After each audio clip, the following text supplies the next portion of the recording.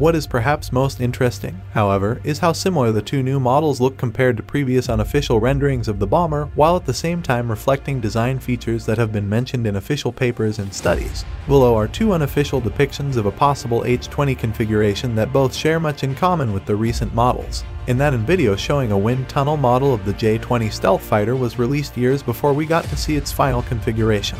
In this case, the J-20 looked exactly like the model. This is indeed the H-20.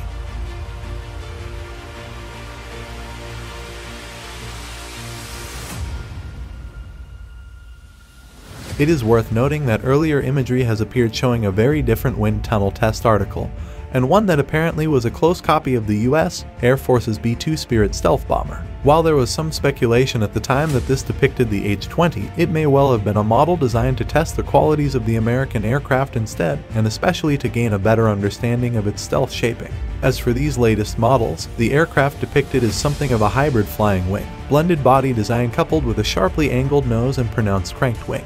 In fact, it is broadly similar to the planform seen in a recent Russian patent that may have a strong relationship with that country's forthcoming Tupolev of PAK DA bomber.